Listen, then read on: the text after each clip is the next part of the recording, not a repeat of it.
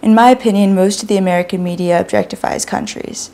When the news reports about the Israeli-Palestinian conflict, the intention is not to make us think about the individuals in that country, but rather to make the country a single entity. And all actions made by that country we assume to be the decisions of every individual citizen living there.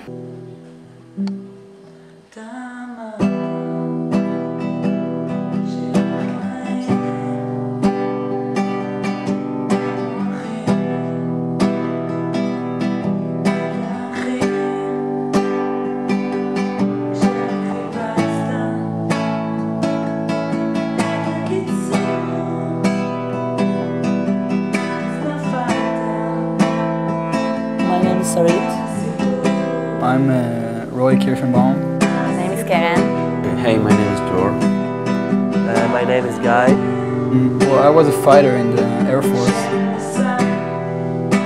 I teach teenagers how to fight and how to protect our country.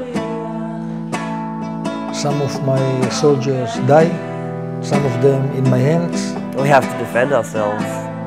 Unfortunately, we live in very dangerous situation in Israel.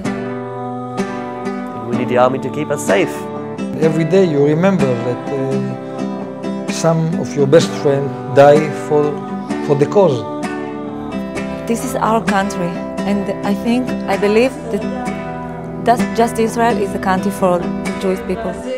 I believe in God. I believe in the history of, uh, of Jews. And I feel close to it. And I'm patriotic to my country. And living in Israel and serving the army in the Israeli army, to live the, the life here, this is Judaism for me. I went to Israel intent on creating a documentary about soldiers in the IDF, to take an objective stance and investigate the conflicts that Israel faces. However, it became increasingly difficult to take this impartial position when I quickly became accepted as a friend, a family member, and part of their culture. I realized that these soldiers were individuals with their own personalities, their own opinions, and their own life stories.